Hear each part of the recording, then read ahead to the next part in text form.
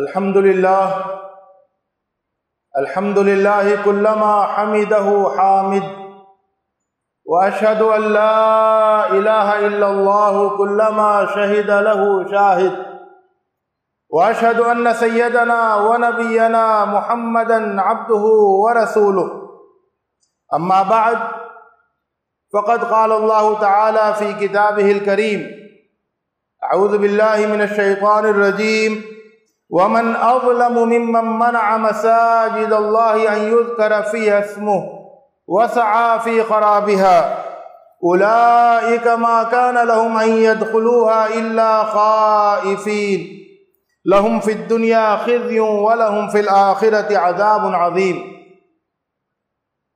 बिरादरान इस्लाम इस्लाम दुश्मनी की तारीख में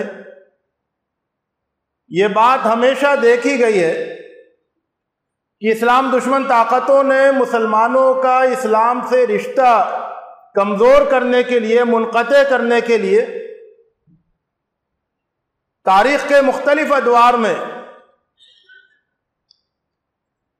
मस्जिदों को निशाना बनाया है। जब तातारियों ने हमला किया और इस्लामी ममलिकत के बहुत से इलाकों को ताराज किया। तो उनके हमलों की जद पे जहाँ बहुत सारी, यानी जिस जहाँ उन्होंने कत्लो खून किया, वहीं उन्होंने बहुत सारी मस्जिदों को ताराज किया।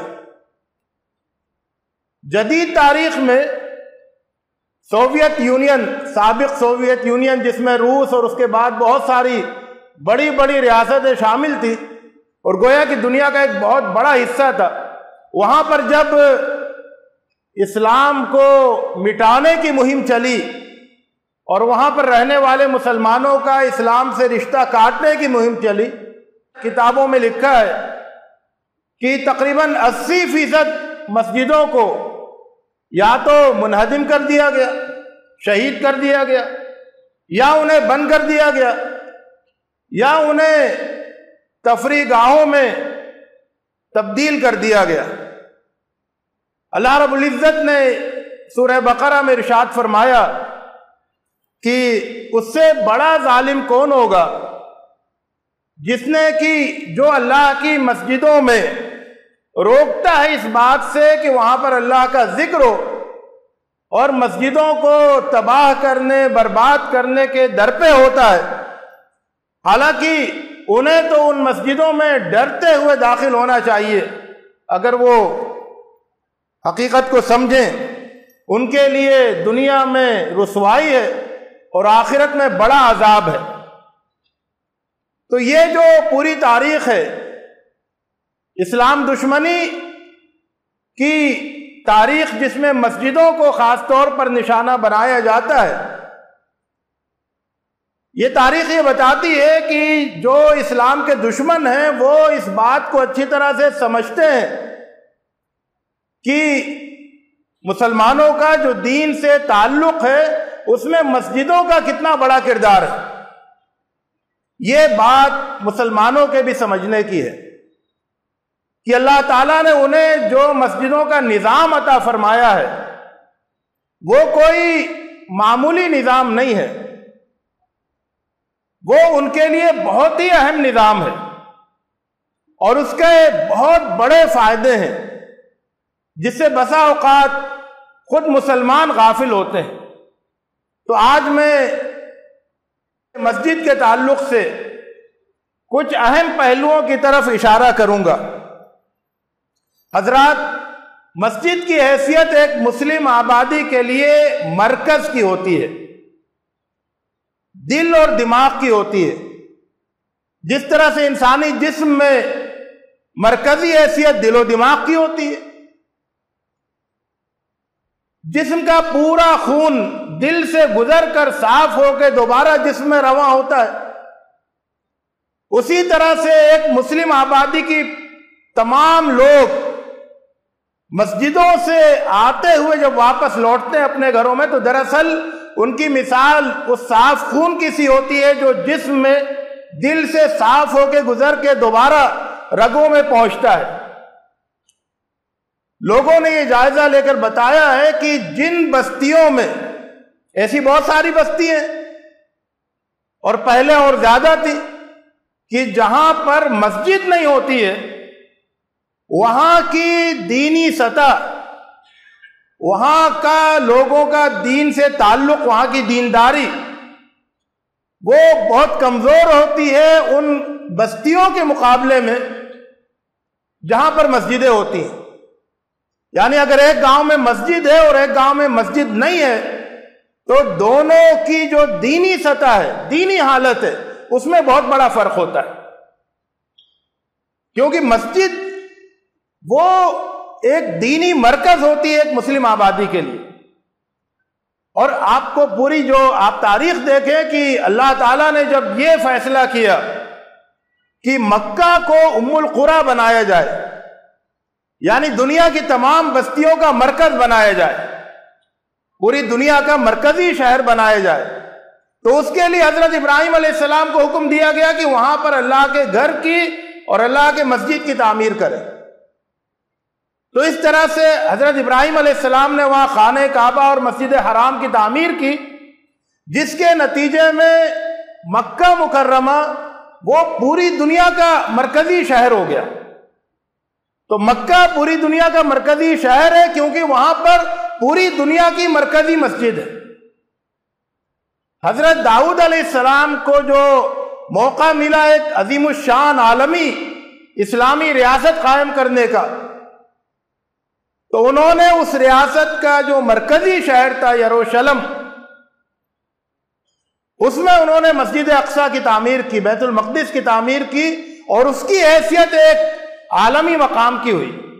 वो रियासत खत्म हो गई, उसके बाद बहुत सी रियासतें आई और गुजर गई, लेकिन उस मस्जिद का और मस्जिद की वजह से उस शहर का एक आलमी मकाम है। अल्लाह के रसूल सल्लल्लाहु अलैहि वसल्लम ने मदीना हिजरत की तो मदीना हिजरत करने के बाद वहाँ पर सबसे ज़्यादा अहमियत इस बात को दी कि वहाँ एक मस्जिद की तामीर हो। मस्जिद नबवी की तामीर हुई और वो पहली इस्लामी रियासत का मरकजी मकाम बनी। और आज तक उसको और क़यामत तक उसको एक आलमी मरकजी हैसियत हासिल रहेगी। इसी तरह से जब किसी मुस्लिम आबादी में मस्जिद कायम होती है तो दरअसल उसकी हैसियत उस आबादी के दिल की, उस आबादी के कल्ब की, उस आबादी के मरकज की होती है। मस्जिद को शायरुल्लाह कहा गया है। यानी वो अल्लाह की याद दिलाती है। मस्जिद की इमारत, मस्जिद के बुलंद मीनार, मस्जिद से बुलंद होने वाली अजान की आवाज़ और मस्जिद की तरफ़ दिन में पाँच मरतबा बढ़ते हुए नमाजी। इनको देखकर खुद इंसान के दिल में एक रगबत पैदा होती है, एक शौक पैदा होता है, अंदर से जमीर उकसाता है। जो दीनी जमीर है, वो उकसाता है कि चलो मस्जिद की तरफ़। इसी तरह से मस्जिद रूह की परवरिश गाह है। यानी इंसान बाज़ार में होता है, वहाँ के शोर शगब में मशगूल रहता है। माल दौलत की दौड़ धूप में मसरूफ रहता है। वो घर में होता है तो घर के बहुत सारे कामों में मसरूफ होता है। घर की अपनी मशगूलियात होती हैं। लेकिन जब वो ये सब कुछ छोड़कर अल्लाह की निदा पर लब्बैक कहते हुए वो जब मस्जिद में आता है तो यहाँ पर उसको एक पाकिजा माहौल मिलता है। यहाँ पर उसको एक खालिश दीनी खालिश रूहानी माहौल मिलता है। यहाँ पर एक तरह से उस, उसकी तथहीर होती है। और वो यहाँ से फिर पाको साफ़ होकर दोबारा बाहर की दुनिया में जाता है। इसका तकाजा यह है कि आदमी मस्जिद में आए तो इस नियत से वक्त गुजारे। कुरान मजीद में जो इस्तिलाह है जो लफ्ज आया है जो ताबीर है वो बहुत माना खेज है। इनमा यामरू मसाजिद अल्लाह बिल्ला जो अल्लाह पर ईमान रखता है वो मस्जिद को आबाद करता है। या अमरू कहा है। यानी वो आता है, मस्जिद में रुकता है, मस्जिद में क्याम करता है, गोया मस्जिद को आबाद करता है। उसकी एक जाए सुकूनत मस्जिद होती है। हम लोग मस्जिद के विजिटर हैं। हम लोग मस्जिद को विज़िट करते हैं। हम लोग मस्जिद में आते हैं और फिर फ़ौरन चले जाते हैं। मस्जिद से हमारा ताल्लुक बस इतना ही होता है, चंद मिनट का ताल्लुक होता है। कि आओ फ़ौरन नमाज़ में शामिल हो और फिर फ़ौरन वापस निकल जाओ। लेकिन जो कुरान मजीद में मंजर पेश किया गया है मुख्तलिफ़ आयतों में, वो ये नहीं है। वो तो यामरू मसाजिद अल्लाह का है कि मस्जिदों को आबाद करते हैं, मस्जिदों को जाए सुकूनत बनाते हैं अपने लिए, मस्जिदों में तवील क्याम करते हैं। हजरात मस्जिद दीन की तालीम गाह है अल्लाह ताला ने ये जो जुमे के खुतबे का निज़ाम अता किया है मस्जिदों को, कि मस्जिद हो, उसमें जुमा हो, जुमे का खुतबा हो, और उस जुमे के लिए सारे लोग, पूरी बस्ती के लोग उमड़ कर चले आए। कोई एक ईमानी कुत हो जो सबको, जो कारोबार में है, जो घरों में है, जो मुलाजिमत पे है, जो जहाँ भी है, वहाँ से निकल कर चला आए। और उसके बाद सब जुमे का खुतबा सुने। ये जो निज़ाम है, ये दीनी तालीम का इलाही निज़ाम है। और अगर इस दीनी तालीम के निज़ाम को दुरुस्त तरीके से अंजाम दिया जाए तो मुस्लिम उम्मत की जो बुनियादी तालीम की ज़रूरत है, वो यहाँ से पूरी हो जाए। फिर उसके लिए किसी और इंतज़ाम की ज़रूरत नहीं पड़े। हर हफ़्ते एक मरतबा ये जो दीनी तालीम होती है, ये अगर मनसूबाबंद तरीके से मुनज़म तरीके से और बामकसद तरीके से अंजाम दी जाए तो इसके नतीजे में पूरी मुस्लिम आबादी के अंदर दीनी शूर, दीनी जज्बा, ज़रूरी दीनी मालूम वो सब उनके अंदर पैदा हो सकती है, उन्हें हासिल हो सकती है। आपको ये तारीख भी मस्जिदों की मालूम होना चाहिए कि इस वक्त जो आलम इस्लाम में बड़ी बड़ी कदीम यूनिवर्सिटियाँ हैं,